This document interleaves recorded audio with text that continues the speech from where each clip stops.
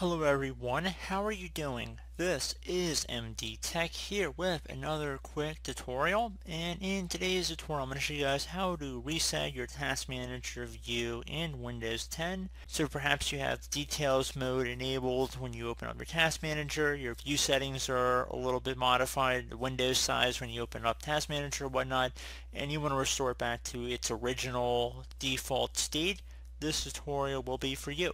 So we're going to go ahead and jump right into it and we're going to start by opening up the start menu. Just go ahead and left click on the start button one time and into start menu search you want to type in regedit, so R-E-G-E-D-I-T. Best match should come back a registry editor. You want to go ahead and right click on that and then from the options you want to left click on where it says run as administrator.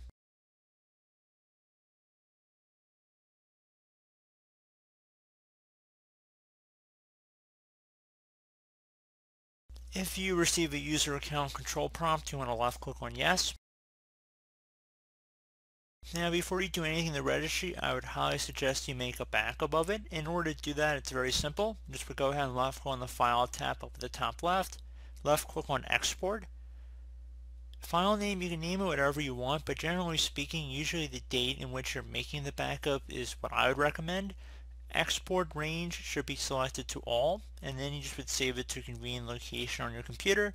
If you ever need to import it back in, you just would do file import and navigate over the registry file. So pretty straightforward. So once you made your backup, you want to go expand the H key current user folder. So either double click on it or left click on the little arrow next to it to expand the drop down. Do the same thing now for the software folder. Same thing for Microsoft.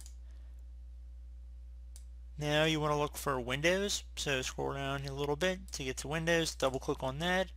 Should be a current version folder, double click on that. Right click on the Task Manager folder itself, and left click on Delete. Left click on Yes to confirm. At this point you can close out of here once it just restart your computer.